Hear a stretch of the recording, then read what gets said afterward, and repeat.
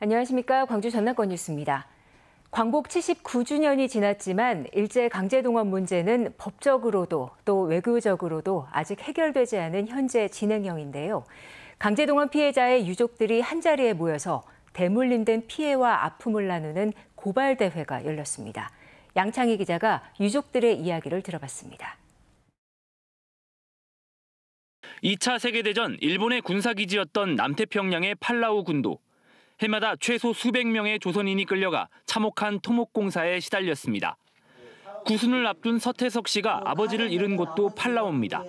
1941년 팔라우로 끌려가 고된 강제 노역에 시달리던 아버지.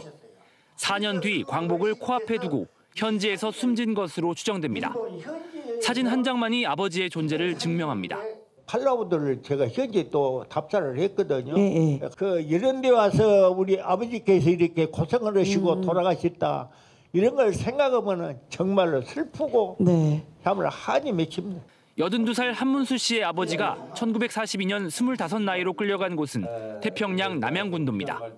아버지는 비행기 활주로에서 토목공 일을 하다 1944년 2월 폭격에 숨졌습니다. 어머니는 사망 통지서를 받아들고도 남편이 돌아올 거라며 어린 한 씨를 업고 하염없이 기다렸습니다. 너가 아비는 죽을 사람이 아니다. 아, 너가 아비는 살아오고 싶어인다고 말 앞에서 저러고 기다린 거좀 생각이 나고 2015년 만 명에 가깝던 일제 강제동원 피해 생존자는 9년 만에 10분의 1인 900여 명으로 줄었습니다. 유족분들도 적어도 적어야 70이고 이제 80 안팎일 정도로 어, 되셔서 이 아픈 기억을 듣는 자리도 어, 좀처럼 음, 쉽지 않는 뭐 그런 상황인 것 같습니다.